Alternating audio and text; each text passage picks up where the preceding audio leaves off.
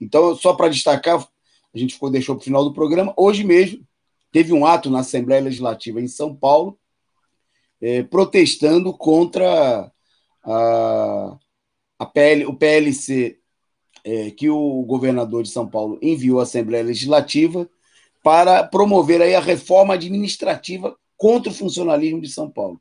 É uma cópia né, piorada da PEC 32 do Bolsonaro. Né, porque tudo que o Bolsonaro faz de ruim, o Dória faz bem pior. Né? Então, o Bolsonaro está tentando aí privatizar os Correios. O, o Dória aqui em São Paulo já está privatizando até é, balancinho de praça.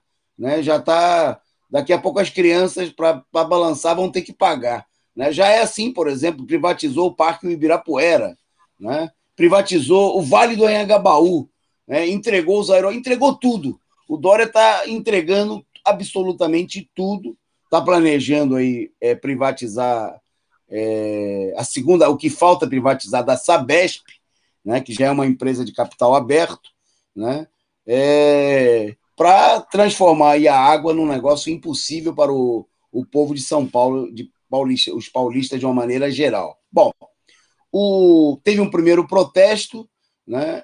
É, queríamos destacar que aquilo que o Edson já disse no começo do programa sobre a mobilização dos Correios não vai dar né, para enfrentar e derrotar nem o Dória nem o Bolsonaro, simplesmente com atos aí de pressão a deputado. É preciso sair às ruas. Hoje foi anunciado pela diretoria da POSP a convocação de uma assembleia que vai ser definida no sábado.